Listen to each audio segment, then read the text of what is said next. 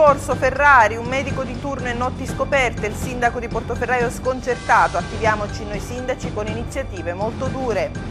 Capitaneria, tre soccorsi in mare per il forte vento, giornata impegnativa quella di ieri per la Guardia Costiera, le imbarcazioni trainate in ormeggi sicuri. Furto con scasso venerdì notte al Bar La Bionda, qualcuno si è introdotto dal retro spaccando una finestra, sottratto un fondo cassa di 200 euro circa, indagano i carabinieri. Distrutte le strutture di accoglienza dell'area del Puntale, palizzate abbattute, cartello del parco di Velto, panchine inutilizzabili. Si pensa a un atto vandalico all'uscita di strada di un'auto.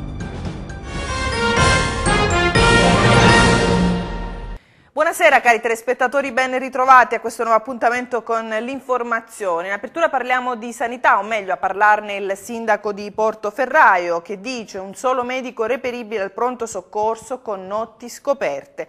Mario Ferrari si dice sconcertato e avverte noi sindaci dobbiamo attivare iniziative molto dure e se questo è vero, dice ancora, eh, perché eh, con la salute dei cittadini non si scherza. Ecco la comunicazione dei, del sindaco a tutti i cittadini, lo sentiamo. È una presa d'atto purtroppo eh, non positiva eh, di un documento che eh, mi è stato fatto pervenire. Eh, ci sono stati degli incontri con l'ASL, ci sono state delle evidenziazioni delle problematiche relative soprattutto al pronto soccorso di cui eh, abbiamo avuto anche modo di parlarne. pochi minuti fa mi è arrivato il documento della reperibilità può darsi sia una copia eh, eh, che sia stata superata da altre eh, decisioni o determinazioni, però la cosa sconcertante, veramente preoccupante è questa, che nonostante tutti gli impegni e le promesse eh, c'è un solo medico praticamente 20 giorni su 30 la mattina al pronto soccorso. E il raddoppio del pronto soccorso, come era stato ipotizzato, garantito, promesso, per quanto riguarda il pomeriggio, non c'è nessuna integrazione, ma soltanto un unico medico dal 1 al 31 luglio. E quello che eh, salta ancora di più agli occhi in maniera preoccupante è che durante il turno notturno molte, anzi moltissime, sono le notti senza il responsabile del pronto soccorso. E questo non è una cosa che riguarda riguarda me, ma riguarda tutti, riguarda tutti i cittadini, tutti gli ospiti, tutti coloro che vivono all'isola d'Elba. E io mi auguro che quanto prima eh, chi di competenza possa smentire quanto io vi ho appena detto, ma ve l'ho detto perché quello che mi è stato consegnato è il turno di, di, reperibilità del pronto soccorso. Auguriamoci che questo non corrisponda a verità, ma se così fosse credo che sia obbligo non tanto mio ma anche di tutti gli altri sindaci prendere e attivare iniziative non dure, ancora di più, perché sulla salute dei cittadini non ci si può giocare, è la cosa più importante che abbiamo da salvaguardare in questo momento. È stata una domenica impegnativa per la Guardia Costiera, quella di ieri domenica, soccorse tre barche in difficoltà a causa del forte vento di scirocco che ha imperversato per tutta la giornata. Le imbarcazioni sono state tutte trainate in ormeggi sicuri da capitaneria e ormeggiatori. La giornata di domenica ha visto il personale della Guardia Costiera impegnato in operazioni di assistenza a diverse imbarcazioni in difficoltà a causa del forte vento da sud. Poco prima delle nove di domenica mattina Tramite il canale radio di emergenza VHF 16 arrivava la segnalazione da parte dell'imbarcazione da Diporto Bomar, situata a circa un miglio a nord della spiaggia delle Viste. Il proprietario diceva di avere i motori in avaria. Il personale della capitaneria a bordo della motovedetta CP892 si accertava delle buone condizioni dell'equipaggio e prestava una prima assistenza all'unità in difficoltà, trainandola all'interno della rada di Portoferraio in acque tranquille. Nel frattempo, dalla sala operativa della Capitaneria è stato coordinato l'intervento da parte degli ormeggiatori locali che completavano il trasporto del natante verso i cantieri Esaom. Intanto, a metà mattinata, tramite il numero blu 1530, un'altra segnalazione riportava di un'imbarcazione da diporto, la Shika Kamata, che sempre a causa del forte vento aveva rotto gli ormeggi dal campo boe di San Giovanni e stava andando alla deriva trascinando con sé una vicina imbarcazione a vela battente bandiera inglese. Ancora usciva la motovedetta per una prima assistenza, mentre dalla sala operativa della capitaneria veniva ordinato l'intervento degli ormeggiatori locali per trainare la Shika Kamata in un nuovo punto di ancoraggio nel campo boe di loro competenza. L'imbarcazione a vela inglese, debitamente assistita, veniva portata nella Darsena Medicea, dove infine ormeggiava al sicuro. Passiamo alla cronaca del fine settimana, furto con scasso nella notte al bar, de, bar, La Bionda, con il buio qualcuno si è introdotto dal retro spaccando una finestrella e dopo essere entrato eh, si, è, si, è, impossessato del fondo cassa di circa 200 euro. E poi l'assalto anche al chiosco che si trova nei pressi del eh, campo sportivo, non c'erano ovviamente soldi ma eh, i ladri si sono accontentati di prosciutto, adesso indagano i carabinieri. Furto con scasso nella notte al bar La Bionda, noto locale adiacente allo stadio comunale Antonio Lupi. È successo tutto nella notte tra venerdì e sabato. Qualcuno si è introdotto in qualche modo nel piazzale interno del carburo ed ha attaccato una finestrina nel retro del locale, sfondandone il vetro per aprirla e introducendosi successivamente nella struttura. I malviventi hanno potuto agire indisturbati e avrebbero portato via la cassa con circa 200 euro. A pochi metri di distanza è stato assaltato anche il chiosco del carburo, in assenza di denaro i soliti ignoti si sono dovuti accontentare invece di prosciutti e altri prodotti alimentari. Del caso si stanno occupando i carabinieri di Portoferraio. Ancora atti vandalici, distrutte le strutture di accoglienza dell'area del Puntale, palizzate abbattute, un cartello del parco, del parco di Velto e panchine inutilizzabili. Le ipotesi sono due, o a un atto vandalico vero e proprio, oppure all'uscita di strada di un'auto. Le strutture di legno però erano eh, marcite e deteriorate. È urgente un intervento per risistemare la zona. Non c'è pace per l'area del Puntale dell'Acquaviva, zona panoramica situata nella strada che collega Portoferraio all'Enfola ed oggetto di polemiche da quando, nel 2003, vi furono installate delle antenne di ripetitori per la telefonia mobile. Pur mascherate in qualche modo, le antenne sono state da subito motivo di contestazione per il loro pesante impatto ambientale. Le polemiche, del resto, non si sono mai mitigate neanche quando la zona è stata oggetto di un tentativo di abbellimento con aiuole e palizzate che avrebbero dovuto restituirla alla sua vocazione di punto panoramico d'eccellenza. In realtà, negli oltre dieci anni intercorsi dall'intervento, l'area è rimasta spesso delimitata da strutture di cantiere e non è mai stata totalmente fruibile. Nello scorso fine settimana purtroppo è ulteriormente peggiorata la situazione. Molti tratti delle palizzate esistenti a delimitazione dell'area infatti sono stati abbattuti, sono state distrutte alcune panchine in legno ed è stato divelto anche un cartello segnaletico del Parco Nazionale dell'Arcipelago Toscano. Inizialmente qualcuno aveva pensato ad un atto vandalico, ma pare, anche se le voci non sono confermate, che il danno potrebbe essere stato provocato dalla uscita di strada di un'auto che potrebbe essere andata a terminare la sua corsa fuori strada, proprio sulle strutture in legno del puntale. Il fatto, qualunque siano state realmente le sue cause, ha evidenziato un problema destinato prima o poi ad emergere.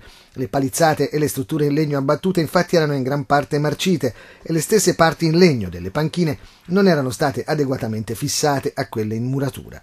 Il risultato purtroppo è la completa inagibilità della zona, con la necessità di un intervento urgente da concordare fra Comune, Parco Nazionale e le stesse compagnie telefoniche che hanno in uso l'area, che è pur sempre la principale terrazza per l'accesso visivo alla zona dell'Enfola, una di quelle di maggior pregio ambientale di tutta l'isola. Ci spostiamo a Rio nell'Elba, alla pulizia delle spiagge hanno partecipato anche dipendenti in ferie, un, un, altro giorno insomma dedicato a interventi ambientali. 15 persone hanno portato via circa 25 sacchi di spazzatura. Nuovo weekend di pulizia delle spiagge a Rio nell'Elba. Dopo i mangani sistemati pochi giorni fa, stavolta è toccato alle spiagge di Zupignano e delle Secche e anche stavolta è impressionante la quantità di rifiuti raccolti e portati via dalla costa. 15 volontari, ha detto il sindaco Claudio De Santi, eletto un mese fa, hanno portato a smaltimento oltre 25 sacchi di sola plastica, fantastico. Ancor più sorprendente venire a sapere chi c'era, non solo volontari, cittadini e amministratori, giocatori, parte della squadra di De Santi. Con noi, fa giustamente notare il sindaco, anche dipendenti comunali in ferie. Evidentemente a Rio Elba, tra i sostenitori del primo cittadino e i suoi collaboratori, si respira un entusiasmo contagioso. Si trova all'isola d'Elba la tenda da campo di Napoleone, la struttura restaurata e visitabile nella galleria Demidov della villa di San Martino, esposta per la prima volta da Iaccio, solo nel prossimo inverno sarà trasferita a Parigi. Vediamo il servizio. Inaugurata nella Galleria Demidov della Villa di San Martino, residenza napoleonica, la mostra che terrà in esposizione fino al prossimo 15 ottobre la tenda di campagna dell'imperatore Napoleone. La mostra è il frutto di una collaborazione Italia-Francia con il Ministero dei Beni e delle Attività Culturali e del Turismo, Direzione regionale per i beni culturali e paesaggistici della Toscana, con il Mobilier National e la Fondazione Napoleon. Sostengono l'iniziativa la Regione Toscana, la Fondazione Livorno e la gestione associata per il turismo dei comuni dell'Elba. Dottoressa Davide, qualcuno ha definito una premiere quella di oggi, uno degli eventi più importanti delle celebrazioni napoleoniche. Eh, sì, beh, questa è una premiere per l'Italia sicuramente perché la tenda è stata già esposta al Museo di Aiaccio e poi ci hanno riferito che sarà esposta a Parigi nell'autunno. Eh, è uno degli eventi più importanti però delle celebrazioni legate al bicentenario di Napoleone all'Elba e quindi siamo molto orgogliosi che abbiamo potuto oggi avere questa grande affluenza anche di interesse, di pubblico e di stampa perché è una cosa decisamente interessante ed importante. Presente alla cerimonia anche il vice sindaco di Portoferraio Roberto Marini, che ha ringraziato anche l'assessore che lo ha preceduto, Antonella Giuzio. Se non ci fosse stata la possibilità di lavorare assieme con il Ministero, con le Mobilier, che è il detentore sostanzialmente di queste opere importantissime, storiche, e la Regione Toscana, insomma tutto il territorio ha risposto e il risultato è stato questo, un risultato importante, questo museo eh, Demidov dove è esposta la tenda è il secondo museo per frequentazione della Toscana. Mi auguro che con questo pezzo importante che abbiamo eh, esposto in questo momento si possa implementare ancora di più, data la curiosità che l'oggetto desta e eh, non solo la tenda, ma anche tutti i pezzi che sono stati portati a seguito della tenda, pezzi che sono appartenuti a Napoleone. Rimaniamo in tema perché è stato ristrutturato con un intervento privato il Teatrino dei Mulini, protagonisti una cordata di imprenditori portoferraiesi coordinati da Marcello Bargellini. Il ringraziamento della soprintendente David, un bell'esempio di sinergia fra pubblico e privato. Nel corso della conferenza stampa di presentazione della mostra sulla tenda di campagna di Napoleone, tenuta sabato 28 giugno alla Villa di San Martino, la sovrintendente ai beni culturali David ha annunciato l'avvenuto recupero del teatrino napoleonico della Villa dei Mulini, che è stato completato in questi giorni grazie ad un intervento di alcuni imprenditori elbani, facenti capo a una cordata guidata da Marcello Bargellini. Marcello Bargellini ha coordinato l'importantissimo intervento che ha portato al restauro del teatrino napoleonico della Villa dei Mulini. Perché sentito, vi siete sentiti in dovere di prendere questa iniziativa? Secondo me oggi un'azienda non può prescindere dal sociale. Il sociale che intendo io è quello di cercare di progredire la propria comunità. Eh, ho visto mh, diverse cose che potevano essere fatte in questo territorio Siccome quest'anno ricorre il quarantennale della fondazione della mia azienda, il Centro Ufficio Elba, e quindi abbiamo deciso di farci questo regalo.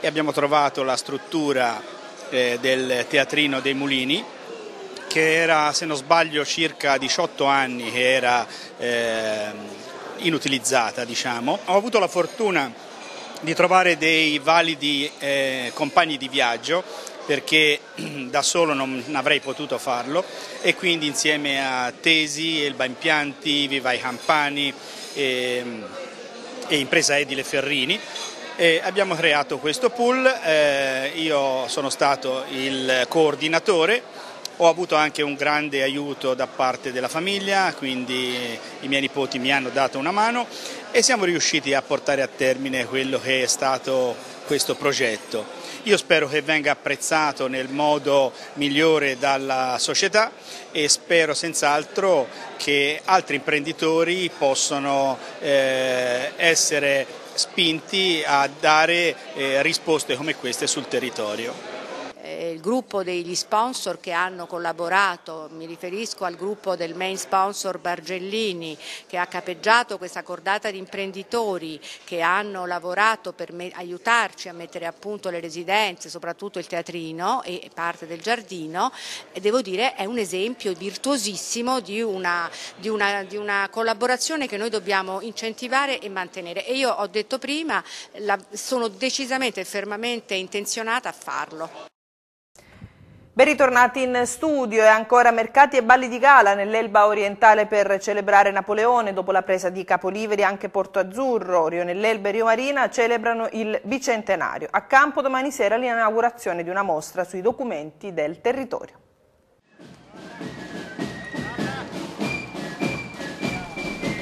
Continuano gli appuntamenti per celebrare il bicentenario napoleonico. Qualche giorno fa Capoliveri ha rivocato la leggendaria presa del borgo da parte delle truppe napoleoniche. Sabato 21 giugno in paese è stato preparato l'accampamento delle truppe napoleoniche fuori del borgo. Verso sera poi sulla piazza centrale i popolani si sono radunati armati di munizioni e pietre per non farsi intimorire dall'arrivo di Napoleone che aveva annunciato di voler entrare dentro le mura. Dal bivacco è partito il corteo della Petite Armée dei soldati a cavallo ricevuti dal maire e dal prete del paese, le cui sorti saranno poi decise dalla misteriosa figura scesa dalla carrozza, che si è fatta strada fra soldati, tamburini e popolani.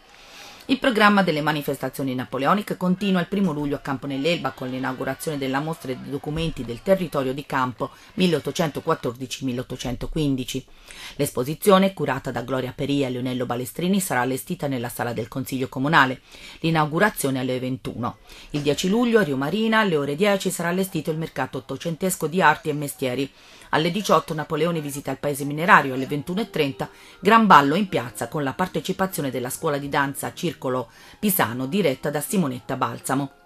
Il 13 luglio a Porto Azzurro alle 21 Napoleone Bonaparte arriva con il suo seguito. Alle 22 gran ballo in piazza. Il 25 luglio il mercato ottocentesco si sposta a Rio nell'Elba, sempre la mattina alle ore 10. Alle ore 18 arriva Napoleone con il suo corteo per assistere al Te Deum nel Duomo del paese.